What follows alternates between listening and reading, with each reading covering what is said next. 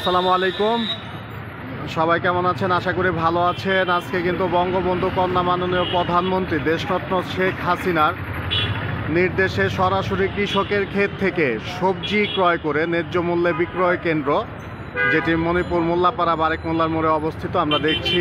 এবং মাননীয় সংসদ সদস্য ঢাকা চোদ্দ আসনের আলহাজ মোহাম্মদ মাইনুল হোসেন খান নিখিল এমপির উদ্যোগে এই ন্যায্য মূল্যে সবজি বিতরণ করা হচ্ছে। আমরা একটু দেখাতে চাচ্ছি।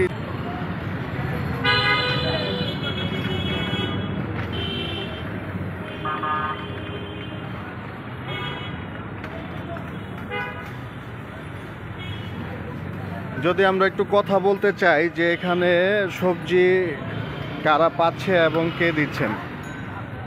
আচ্ছা একটু বলবেন কি আমাদের? এই সবজি কাদের দিচ্ছেন বা কার উদ্যোগে দিচ্ছেন? ঢাকা চোদ্দ আসন সংসদ সদস্য জনাব আল্লাহ মোহাম্মদ হোসেন খান নিখিল হিসেবে তার উদ্যোগে আমরা ন্যায্য মূল্যে সবজি বিতরণ করছি, সাধারণ গরিবের মানুষের মাঝে।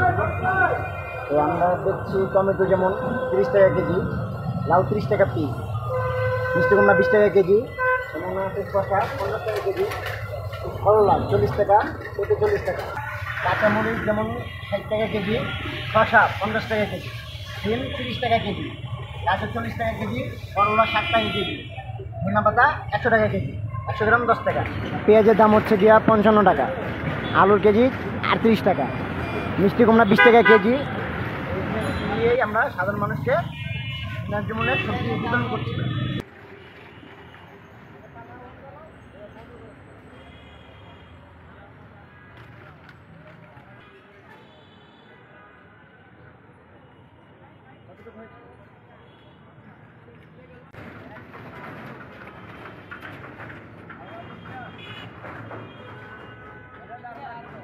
বর্তমান রমজানের মার্কেটে সবাই তো অনেক চড়া মূল্যে সবজি কিনতে বিরক্ত হয়ে যাচ্ছে। বিশেষ করে নিম্ন আয়ের মানুষ যারা রিক্সাওয়ালা, সিএনজিওয়ালা যারা আমরা নিম্ন আয়ের মানুষ আছে, তাদের জন্য তো অনেক কষ্ট করে। এই ক্ষেত্রে এই ধরনের উদ্যোগ খুবই প্রশংসনীয় আমি তো মনে করি আমাদের যারা নৌজওয়ান আছে, যারা যুবকরা আছে, তারা এরকম উদ্যোগ প্রতি মহল্লায় মহল্লায় করা উচিত।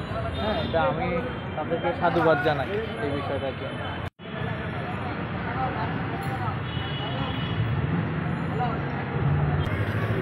আচ্ছা আপনার কেমন লাগল? ন্যায্য মূল্যে সবজি কিনে? কিছু হইলাম। এই দামে পায় মনে হয় যে বাজারে গেলে মনে হয় একশো একটু বেশি হবে। হ্যাঁ। কম হবে না। আচ্ছা আচ্ছা। ভালো হয়েছে। আমরা উপকৃত হব আর কি।